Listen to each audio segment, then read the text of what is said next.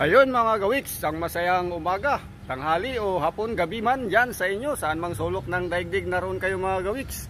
So ngayon mga gawiks, sa umagang ito, yan ang ating gagawin ngayon. Tayo ngayon ay magpitas ng mga bunga ng patula, pero hindi yung mga bata, kundi yung mga matanda na mga gawiks. Yan, sapagkat ay iligpit na natin, iligpit na yung puno ng patula dahil mga bunga niya ay matanda na at hindi na mag-produce ng magandang bunga na mga bata para mapakinabangan natin. So ngayon, ang gagawin natin, yan mga, mga matanda na nakalaylay dyan ay ating pipitasin, iligpit na natin para makapag-umpisa tayo ng bagong puno ng patula. So ngayon mga gawiks, kung bago ka lang o napaligaw ka lang sa aking YouTube channel, huwag kalimutan mag-subscribe. At siyempre pahit na rin yung notification bell para updated tayo sa aking mga video na i-upload. At unang-una mga gawik sa umaga sa bawat gising natin tayo ay magpasalamat kay Lord sapagkat yan ay blessing na upang ang araw-araw natin ay maipagpapatuloy ang buhay at pamumuhay. So masayang buhay sa lahat dyan mga gawiks so ngayon umpisa na natin ang ating pagliligpit dyan sa puno ng patula sapagkat matanda na. So yun nga ang ating ligpitin ngayon ay mga bunga na matatanda.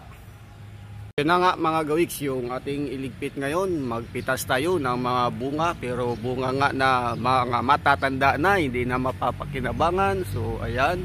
So doon sa taas yun ang nakita natin. Medyo tuyo na yung sa taas pero dito hindi pa tuyo. So iligpit na natin yan kasi para maligpit na yung puno dito. Ayan. So meron tayo dito.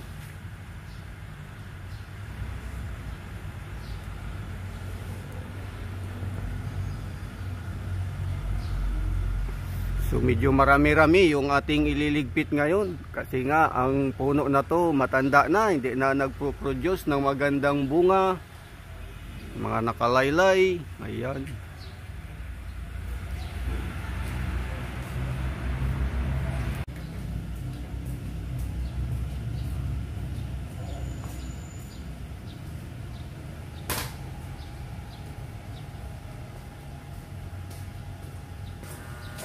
So ayan na mga gawiks, yung ating trabaho ngayon ay magligpit tayo o magpitas na tayo ng mga bunga ng patula na mga matatanda dito.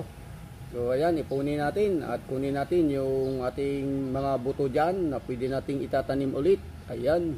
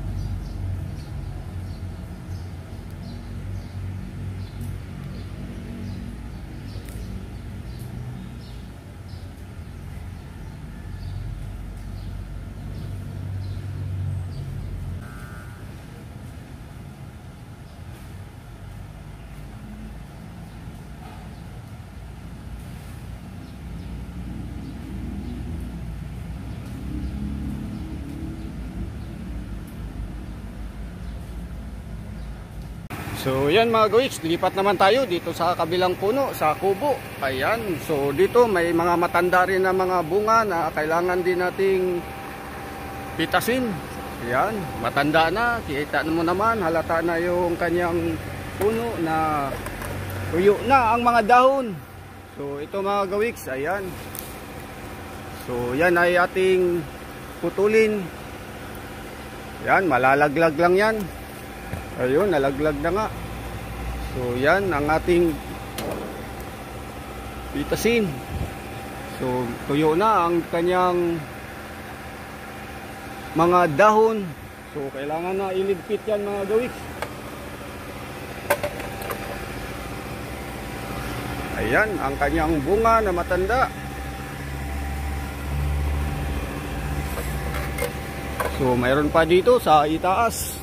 Hindi ko sure kung maabot natin.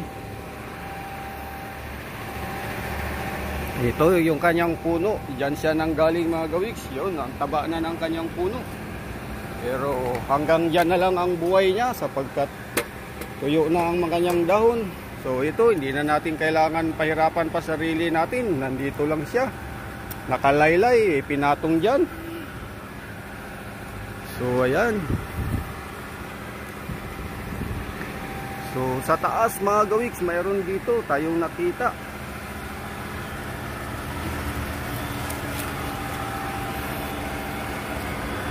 Sana ba yun? Sa kabilang side, sa taas, kailangan natin pumatong na medyo mataas dyan. So dito sa taas na to, mayroon din dito. Ayan, tuyo na nga. Kunin natin kapag tuyo na. So dito ang kanyang mga bunga nito ay pwede na natin tong itanim. Ayan, pang binhi na to mga gawik sapagkat tuyo na siya. So yan, tuyo na. So pang binhi na natin to. So mayroon pa dito na hindi tuyo. Dalawang piraso.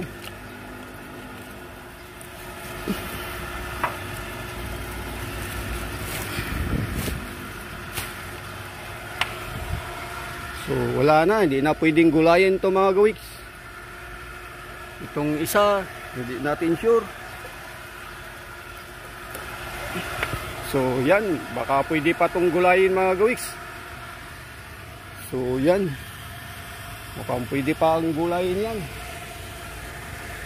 So akyat tayo dito sa drum para maabot natin yung mga bunga dyan.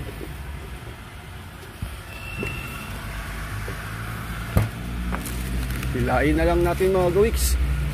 Ayan yung kanyang bunga. Hindi natin abot. So dito tayo mag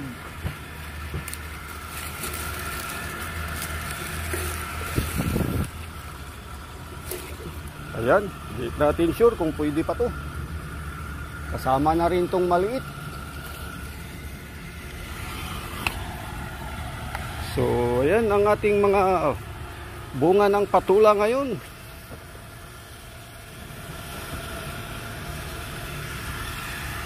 Meron pa tayo dito sa may bubungan. So marami pa tayo ditong makikita. Ayan pa yung isa.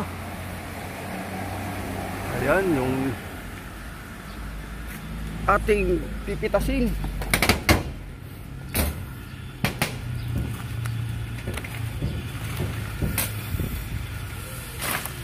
So, ayan, ganyan kalaki mga gawiks.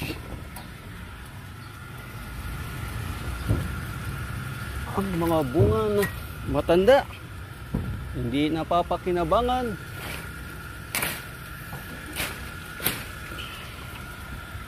So, yan ang ating mga napitas.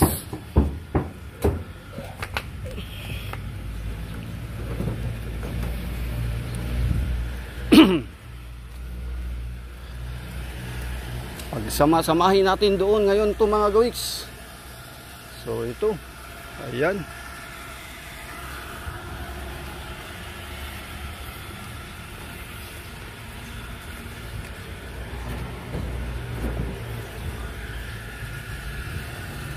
So, yung mga nandyan sa gitna mga gawiks, yan ang ating pagpitas dyan kapag ka nagligpitan na. So, yan ang ating mga nakuha. Okay, baka pwede pa to. Oh, batang bata. Yan, bigay natin mga gawiks dito sa ating kasama. Yan. Pwede pa yon. Baka gusto mo pa tong isang maliit. Sama mo na, kakaya ibigay sa iba to, ang liit na. so ayan nga mga gawiks, ay ating ibinigay yun. Alam ko pwede pang gulayin yun at yan ang hindi pwede. So yan, so sa isang umaga ay isang maganda. Maganda sapagkat nakapagbigay tayo ng gulay, patula. So hanggang dito na lang mga gawiks at ayo ay magpapaalam na. Hanggang sa muli, maraming salamat na hanggang sa dulo ng aking video kayo ay nakasama ko. Ayan, yung pamimitas natin ng bunga ng patula pero matatanda na. So bye bye, yahoo!